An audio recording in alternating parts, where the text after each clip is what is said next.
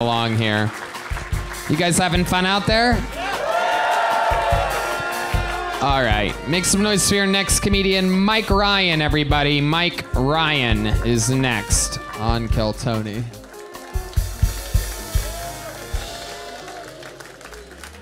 How's everybody feeling tonight? I was feeling pretty good to this gay comic back there. He said I'm dressed like Fat Forrest Gump. His name was Jackson Nami. So I don't know if you guys can tell by my uh, general demeanor or my fashion sense, but I go to a lot of strip clubs. Recently, I went to uh, the Yellow Rose, right? Yeah. I heard about it on the show, wanted to go check it out. I, um, I actually saw a blind guy there. I was like, damn, dude, it's probably cheaper to listen to Akon at home.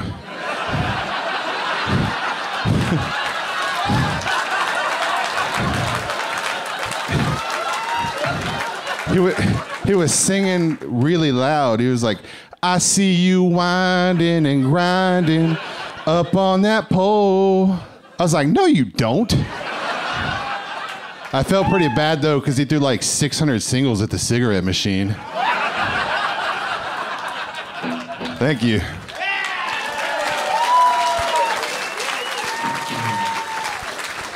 Make some noise for Mike Ryan, everybody. Very fun performance. Thank you guys. Thank you. That was fantastic. That blind strip club Akon joke, absolutely incredible. One of my favorites of the night. How long you been doing stand up? Uh, four months. Four months. Yeah. Wow, this is a very backwards uh, wait, episode. wait, wait. So, Literally, the two worst sets of the night were the two guys that have been doing it six years. The next best set was two and a half years, and you're four months with. yeah, so I worked with a guy, and he told me about this show. You, what do you do for work? Um, I'm a logistics coordinator in the refineries in Houston. Okay. Um, he told me he told me about this show, and uh, I started watching it. I fell in love. And I just started writing in a minute. I, uh, I started going to the Secret Group in Yeah, Houston. yeah. Shout out to Secret Group. Uh, Yeah, we love the Secret. Group. Shout Group. out to Andrew Youngblood. I produce his podcast now, um, and it's the Mess Hall podcast. Check it out. Sorry to plug a podcast on here. We know Uh, Andrew, but so yeah, it's cool. Group is um, amazing. We, I just saw Andrew open for Mark Normand in Houston as well, and it was, it was great, man. Right. So I just I fell in love with comedy from watching this show. Okay. I love it. Absolutely. I've I've I've signed up uh, multiple times, and every time that I've signed up, somebody that rode with me got pulled. Uh, so Will Loden, uh, Trey Campbell's a good friend of mine as Okay. well. Like he's been one, yeah, he's been one of the guys that's helped me out a lot. Okay. I recently had him in my podcast as well. I love it. How old are you? I am 36. 36. What's your living situation? Uh, so I get the I get like barn or shed vibes from you. no, I've, I have a house. Uh, Your own house? yeah, I have a house. Well, so when my wife left, I moved in a roommate, but because I didn't want to live alone. But Okay. How long ago did your How your you wife? like me now? Hell yeah! There you go. Big winner. Absolutely. Hell yeah, hell yeah. Absolutely. So when did your wife leave you? She left in June. So I got married in October, and then she left in June the next year. I waited 35 years to get married. I'm like, I'm never getting married. I met her, fell head over heels. We got married, and six months later, I came home. She's like, I don't want to be married to you Why anymore. didn't she want to be married to you anymore? What's the real reason? Did the, Uh, did the so my best friend and best man, uh, he actually uh, died on my wedding day.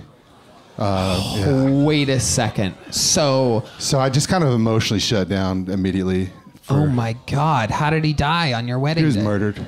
He was murdered on your wedding day. Well, so he where got- was your wedding he got, at? He got shot two days before, and he died an hour before the ceremony. you didn't reschedule the wedding? No, I just. your best man got Yeah. shot two days before. yeah. How did Well, I he? went to the hospital, and they told me he was going to be fine. And then when they went to do the second surgery to close him up, uh, wow. Wow. I thought it happened at the wedding. That'd be like a live clue event. Like, who done it? Classic. bro, Houston's hood as fuck, dude. Like I don't know if you know about Houston, man, but it's Yeah, hood. well, you know, know that's why about a lot of people that live in Houston keep their arms crossed so that they have a natural, uh, a natural shield to bullets. Did they That- find the murderer?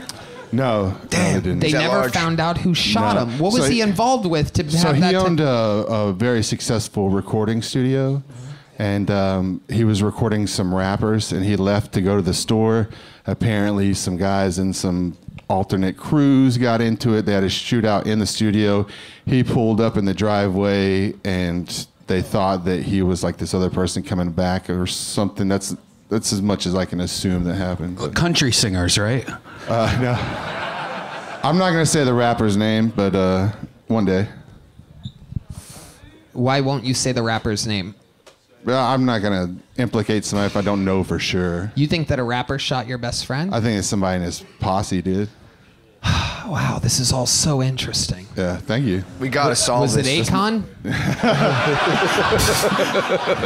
I fucking love you, Tony. Aw, you're sweet. hey, Jackson loves you too, boy. Man, he rode with me. Jackson rode with me. Nami, yeah, he rode with me. Oh, you guys are friends. Yeah, we're, we're from Houston's tight knit, bro. Houston. Hell yeah. Well, the Houston comedy. his asshole is not tight knit at Ah. You- Let me you tell heard- you, and yeah. I know from experience. you know what I'm saying? How do you think he got the spot? Bro, this is so surreal right now. Literally, this is my only goal in comedy. I only prepared minutes. I do five minute mics, but I just do five one minute sets. And, uh, Incredible. yeah. Well, here you are. You're doing it. Hell yeah. I love that. So, uh, you, your wife left you. You emotionally shut Thanks for down. bringing that back up, Yeah.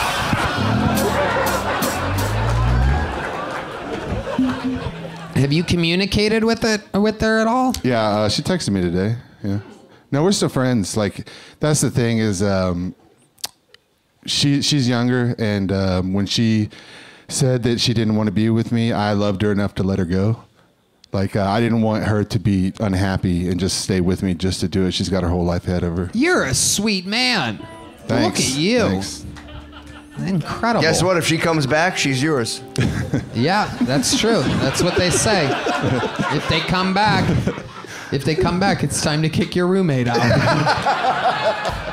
you have any other? You have so much charisma. You do other things on stage. You have any other special skills Uh, or so talents? I used to be uh, in. I used to be a rapper. No way.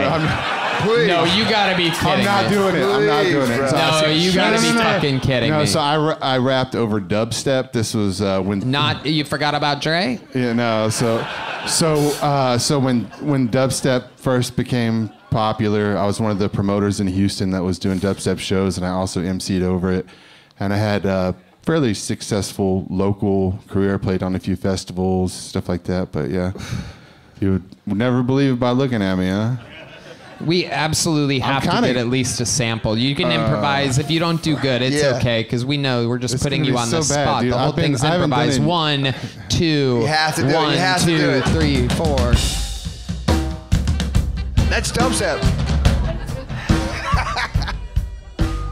Rhymes be subliminal. I used to be a criminal, but now I'm hopping on this mic. I'm golden like the mineral, so take it like it's literal.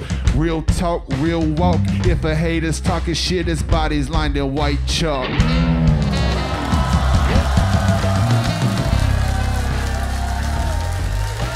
That was amazing. Bro, I know. I this so this entire get up right. I've been growing the mullet out to get on this show. This whole this You is grew not- the mullet this is- out just to be is- on this is- show? this is not me, bro. This is not me. I'm hood, dog. I'm, I don't know what to tell you, bro. Like, like my hands are tattooed, man. Like, I don't know what to fucking tell you, bro. I love it. I love it. H Town, baby. Oh my goodness gracious. Wow. This is incredible. You do have tattooed hands. Town till I drown. Okay. We almost did in Harvey too, man. It was all right. You you almost drowned in the hurricane. it was bad, bro. It was fucking. Oh my goodness. we lost. A bunch of my friends lost their houses. It's not that funny. Wow. Wow. But you didn't lose your house. nah, nah, nah. No. Just his wife. Yeah, Yeah. In the flood. She floated on down the river. It's all right though, dude, because I feel like I'm gonna do all right with the ladies when this comes Hell yeah, out, man. dude. Yeah, dude. fuck yeah. No doubt. Wow. You know, uh, uh, uh, Trey is on the Secret Show Thursday. If you want to take a ride up with him and do f- your I'll five fucking minutes drive at the him, Secret bro. Show, Hell yeah, All right, dude. go Fuck drive yeah. up Thursday. Fuck yeah. yeah. There you go, ladies and gentlemen. The Kill Tony debut of Mike Ryan, and you're leaving Oh, with a big shit. joke book. Oh, there he oh, is. thank you. Hey, thank you, bro. Mike Ryan, you did it, dude. Very exciting. Well, he's been doing it for four